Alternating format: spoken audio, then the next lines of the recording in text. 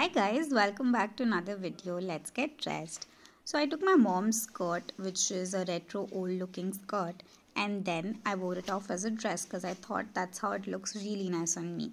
And then I was still not sure how to style it up, so I gave it a thought, and then I thought to take my sister's borrowed bow belt, and this is how I paired it up.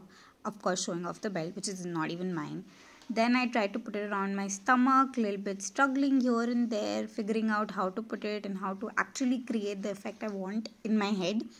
And I was successful. This is how it turned out to be. I really like the look. But then I was like, wait a minute, I can pair it up with my black jacket to give it a winter feel as well. And this is how it turned out. See you next time. Follow for more.